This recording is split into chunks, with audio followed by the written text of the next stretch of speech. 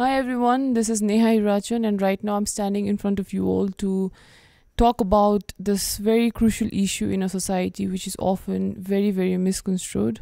Today, I want to talk about burns victim survivors.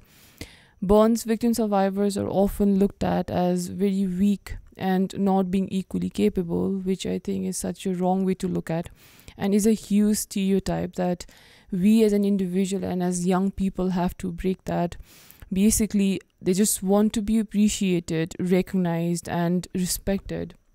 So with that said i also want to talk about our campaign that me and my friend have decided to commence. Uh, with this campaign we are trying to raise funds for the burns victim survivors so we are performing acoustic sessions for 20 artists at least and for each session we are charging minimum of 2000 rupees.